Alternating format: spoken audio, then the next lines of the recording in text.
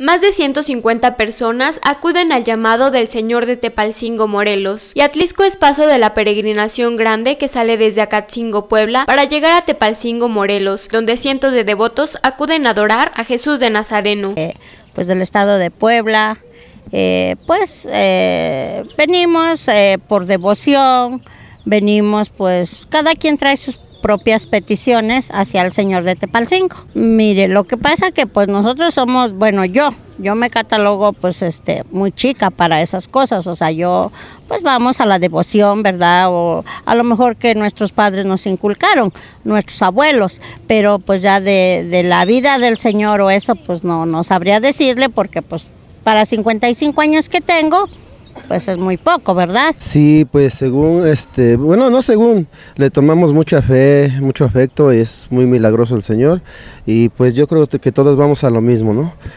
Todos los que vamos vamos a lo mismo, a pedir salud, bienestar, todo según todo lo que es, son nuestras intenciones. Estas personas caminan por más de cinco días donde la fe y la voluntad les permite llegar a su destino. Pues está difícil, ya se dio cuenta cómo vienen mis compañeros, vienen bastante mal y este, pues ah, mira, ahorita estamos haciendo curaciones de los pies. Pues haga de cuenta que nosotros lo hacemos por la fe, pues tradiciones y pues pues como distraernos un, momento de pues la vida cotidiana de que llave del pueblo como ama de casa, pues ahorita esta semana porque son cinco días, entonces lo agarramos como una distracción. Eh, no, nosotros caminando a pie. A pie. Lo difícil pues son las ámpulas que nos salen. Los que vienen caminando son alrededor de 150. En, en nuestra peregrinación, porque vienen dos peregrinaciones, sí, y, pero somos más de 200 con los que vienen en los camiones.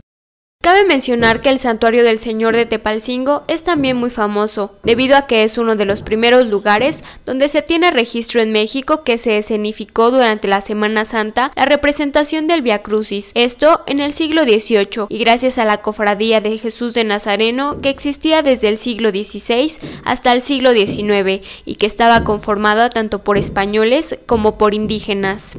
El día viernes al Señor de Tepalcingo a las 9 de la mañana.